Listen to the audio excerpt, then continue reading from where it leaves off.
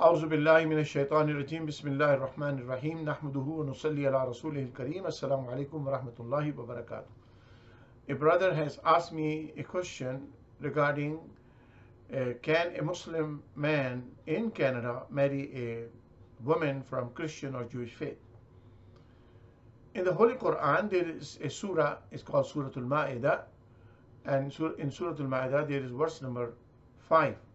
In that verse, Allah subhanahu wa ta'ala has allowed two things from the people of the book.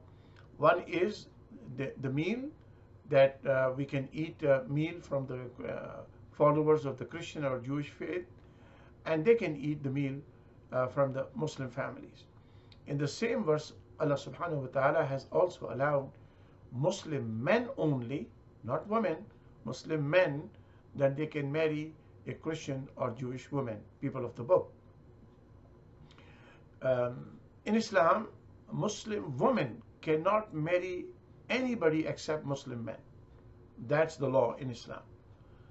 Muslim men are allowed to marry a Muslim woman. Of course, that is a preferred choice. But in certain situations, if they need to marry a Christian or Jewish woman, then they, they are allowed in the Holy Quran. However, every verse in the Quran has a certain context and certain reasons. Quran was revealed to Rasulullah, Prophet Muhammad sallallahu alaihi wasallam 14 centuries ago, and it is forever. Every verse in the Quran is until the judgment day, and it is final guidance. Yes, we know it is a Muslim man can marry a Christian or Jewish woman, but however, there were conditions. Because in the same Quran, Allah Ta'ala says, Almighty God says, Ya ayyuhalladhina amanu qu anfusakum wa ahlikum nara. O believers, save yourself and your family from the fire of Allah subhanahu wa ta'ala, from the hell of Allah subhanahu wa ta'ala, from the wrath of Allah subhanahu wa ta'ala. So it means it is the it is the obligation on the head of the family, whether it's a man or woman or both, to save them themselves from the wrath of Allah, and they have to save their children from the wrath of Allah subhanahu wa ta'ala. So in Canada also, our broader Western world, whether United States, Europe, Australia, Canada, the society is very different than the society used to be 100 years ago, 300 years ago, 1000 years ago, 14 centuries ago. Now in these situations, uh, in the family also, in the family, it is not just the man who leads the family, it is the woman also leads the family. And men and women both have equal rights on their children. There is no dominance of men in the family. In Canada, I'm talking. In Islam is a different thing. In Islam, man is the head of the family because it's not because of his gender. No, it is because of responsibilities. Man is has an obligation to bring the bread on the table, to pay the mortgage, to pay the bill, to fulfill the needs of the family, to work hard, to have a bigger heart, have more patience, more sacrifice, more tolerance, and, and take care of the family. Responsibilities are more. But in Canada, government of Canada, laws of Canada don't care. As long as the family is paying their bills, that's fine. Whether it's a man paying or women paying. But we cannot force each other. That's also the law. So when a Muslim man marries to a Christian woman or Jewish woman, Muslim man has no right to force the children when they are born to become Muslim, to remain Muslim. No. Women can put them, can ask them, force them to come to her religion, and men can force them or ask them to, be, to, to, to become Muslim. So what happens? This struggle goes on.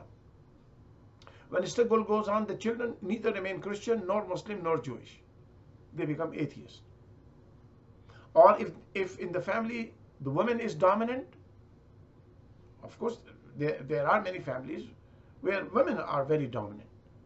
Then she, if she's Christian, then she takes it, uh, children, she influences the children and ch children remain Christian. And I've seen quite a few families in Canada that their children, although husband was Muslim, but children was raised as Christian. So when this is the situation, then husband will be answering to Allah subhanahu wa ta'ala that why he was not able to raise kids as a Muslim. So, so since this society is very different and the children cannot be forced to be Muslim in the marriage between Christian or Muslim or Muslim or Jewish men or uh, women. So therefore, it is it is highly suggested by all these scholars of Islam that you stick to your own faith, people. Muslim men should marry the Muslim women, so you don't have that conflict which emerges later on. If you are secular, you are not very much practicing Muslim, then it's up to you. Because as a Muslim, we believe that there is life after death. And in the next life, we are accountable for our actions, for our responsibilities uh, to Allah subhanahu wa ta'ala. And when you, you cannot use an excuse, oh Allah, I did not have the control on my children because I live in Canada, that is not an excuse for Allah. You have to raise your kids as Muslims. And you cannot do this thing in Canada by force. So therefore, it is it is it is not suggested, although it is permissible, but it is it is very uh, difficult path for for the men to keep children on Islam. Second point is that we think in Canada uh, every person look like Christian is a Christian. Is that's not necessary. On average, almost 35 to 40 percent Canadians have no faith. Though somebody look like Christian, have a Christian name, not necessarily that person is Christian. So, uh, so you cannot marry an atheist. According to Islam, man cannot marry. If man is allowed to marry a Christian or Jewish woman, and Muslim woman is not allowed to marry anybody except Muslim, but a Muslim man just see the language or appearance and think that this person is Christian, has a Christian name, that person does not believe in anything. So you have to either ask that person to become Muslim, then you can marry. But without this uh, sort of an agreement or understanding, a Muslim man cannot, cannot marry to that other woman who may not be a Christian but look like a Christian, have a Christian name. And if you marry a Christian woman, then make sure that you raise your kids as Muslim, which is legally you cannot force it. Otherwise, you will be in big trouble. And then I have seen a lot of marriages end up on divorce. Because when you are young, when we are young, we are not as strongly bonded with faith, whether Christian, Jewish, or, or Muslim. But as we get older and older, our bond with religion gets stronger and stronger. And later on, the problem emerges in the family.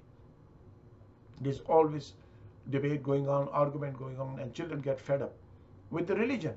They just leave the religion. They said, okay, religion divides family, creates animosity. I don't want to be following any religion. So you are producing children, and those children are neither Christian nor Jews or nor Muslim. And then you will be answering to Allah subhanahu wa ta'ala. And if they are not Muslim, still you will be answering to Allah subhanahu wa ta'ala. So that's why it is highly, strongly recommended by scholars of all denominations of Islam, all scholars of Islam, that you marry a Muslim woman. It is safer, it is better, it is good for the family. May Allah guide us all. وصلى الله تعالى على حبيبه محمد وعلى آله وأصحابه أجمعين